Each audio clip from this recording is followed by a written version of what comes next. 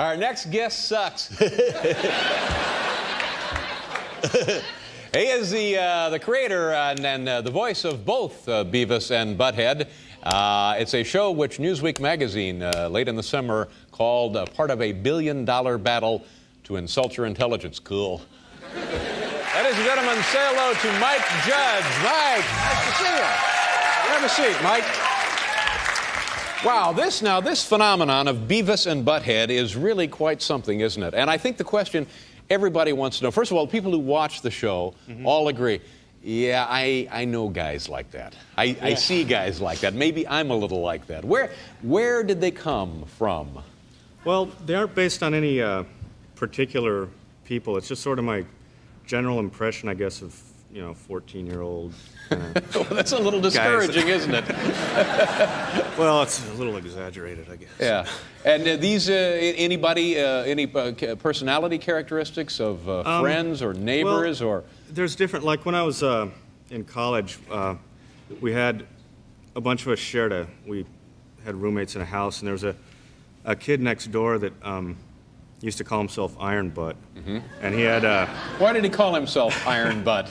Well, he did this thing where he would demonstrate how he could, uh, he'd, he'd stand in this position and all the kids could kick him in the butt as hard as they wanted and, and it wouldn't hurt. So I'd like to see the Japanese beat us at that, ladies and gentlemen. this is the greatest country in the world. Iron butt. So there, that became Yeah, he Butthead, was sort of. Well, so I mean, I started out trying to draw a kid I went to high school with, and it didn't look like him, but it, it ended up looking like what, what is now Butthead. Mm-hmm. And then I drew, uh, I drew Beavis sort of as a companion. Now, my observation is that Beavis, Butthead, maybe have just a little sense, just a Yeah, little Butthead sense. has maybe just a little bit of common sense. yeah, and Uh, Beavis is nothing. yeah. Beavis is just like gum stuck to Butthead's shoe. That's that's pretty much That's the good, way I see it. And Yeah. part of the show on MTV is these two guys sit on their couch and do very little other than watch TV and Yeah. talk about the, the videos on MTV, and a lot of it is very unflattering. Now, do you do you hear from the bands that these guys talk about? I don't personally. I've, I've heard a couple bands their management has called and said, you know, it's not very nice, but I mean, it's kind of, uh, you know, it's, it, it shouldn't be taken seriously as a musical criticism, which it, for sometimes it, it is. But um, there was, uh, I was actually at a concert, and one of the bands that we really ragged on is this band Grim Reaper. I mean, they had this video that was. This isn't just my opinion. I mean, this thing was really bad. It's like- uh, it was like Spinal Tap or something. And uh, so Beavis and Butthead were just really going off on it. And I was at this concert, and uh, this guy comes up to me. I was in a little backstage or, or whatever area. And this guy comes up and says, uh, Mike Judge, this is Nick uh, something from guitar player from Grim Reaper. And, uh, and, I, and he was a big guy, and, and I, the first thing that just came out of my mouth was, I'm sorry. Yeah. And, uh, and, and he said, he said, oh no, Mike, I, I love the show. When I saw that video come on there, I said, you know, if, if they say this is cool, I'll never respect the show again. I we got another video. It's even worse. I'll send it to you. You gotta it." So uh, Could you, that'll could be you- the next season. Could you do, and I don't know if this is even fair to ask you, but I know since you do both voices and Uh-huh. it's your creation, can you do for us a conversation between the two? Is there anything that. Oh, yeah!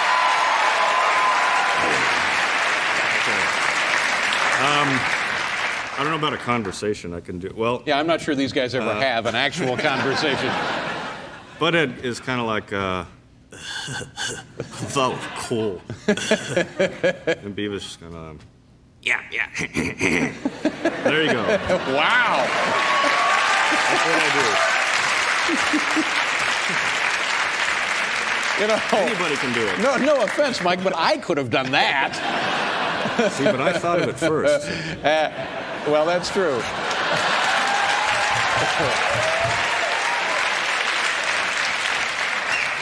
And you now you're, you've gone multimedia. You you have entered the, the music business yourself. You you've done a, a CD, Beavis and Butthead singing with a lot of stars, one or two stars. Well, we've got, um, there's one song where, Be- where Butthead does sort of a Barry White style love song, great. talking it through.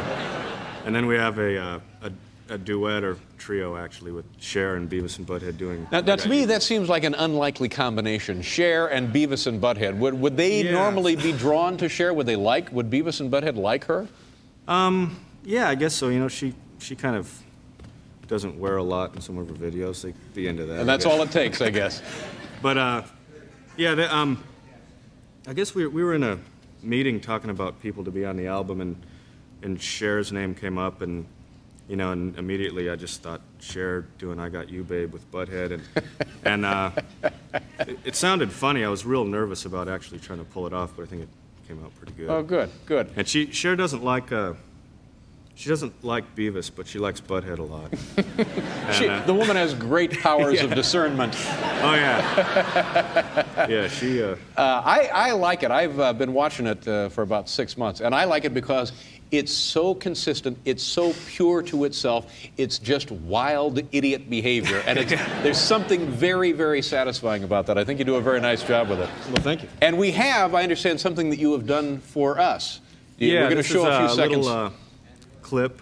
Why don't we go ahead and play it? Okay, here we go. Take a look at this, folks. Uh, Beavis and Butthead. Mike Judge, the creator. cool. so, like, uh, say hello to our good friend Beavis. Yeah, yeah, yeah. That would be nutty.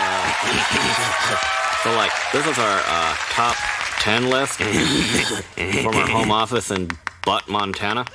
so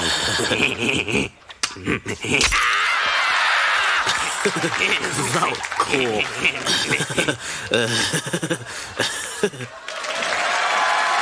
Very impressive. Mike, it's a you. Thank you very much for being here. Continued success with Beavis and Butthead. Have a great holiday.